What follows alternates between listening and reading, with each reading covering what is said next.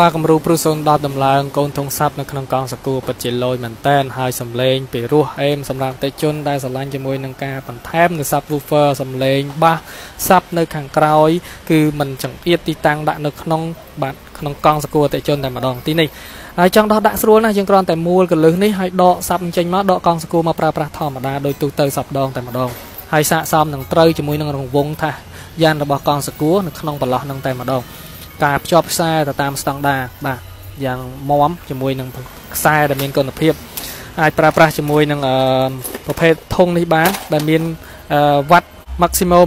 1600វ៉ាត់ហើយនឹង OMS រហូតដល់400វ៉ាត់ពិតជាខ្លាំងសម្រាប់អតិជនដែលត្រូវការជាមួយនឹង subwoofer សំឡេងពីរោះងុំបន្ថែមទៅលើផ្នែក sub គឺអាចបន្ថែមជាមួយនឹងក្នុងកងសកលនេះបានព្រោះ04ដល់010នេះគឺជាគំរូសម្រាប់ធុងរបស់010សាទ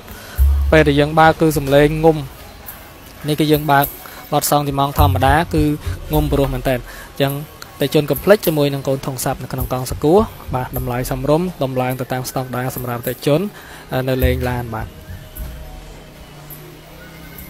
ឡូវយើងរៀបចំអវ៉ាន់ចូលវិញហើយគឺមិនចង្អៀតទេពេលដែលយើងរៀបចូលគឺបាត់ធុងនេះហើយនេះគឺជាការ design ដូចជាមួយនឹងប្រភេទ ODQ7 ដែលមានកូនធុងសាប់ក្នុងកងសកួរអញ្ចឹងតែជនដែលស្រឡាញ់ថាมันចង្អៀតនៅខាងក្រោយនេះគឺមើលអត់ឃើញធុងសាប់ទេហើយតែជនសួរថាដាក់នៅក្នុងកងនេះបិទចិត្តតែលឺដែរទេប្រភេទក្នុងកងសកួរនេះត្រូវការភាពបិទចិត្តកាន់តែបិទចិត្តបែបនេះគឺកាន់តែសំឡេងងុំបានល្អទៅផ្នែកខាងមុខហើយនឹងគុំពេញក្នុងឡានអញ្ចឹងតែជនដែលអាចចង់សាកបានគឺអាចចេះរើសជាមួយនឹង ធុងសាប់ក្នុងកងសកួរនេះដែលមាននៅក្នុងនៅលេងឡានបាទអរគុណសម្រាប់ព័ត៌មានថែមសាកសួរលេខទូរស័ព្ទខាងលើឬក៏អញ្ជើញមកហាងផ្ទាល់ដើម្បីមើលអវ៉ាន់បាទ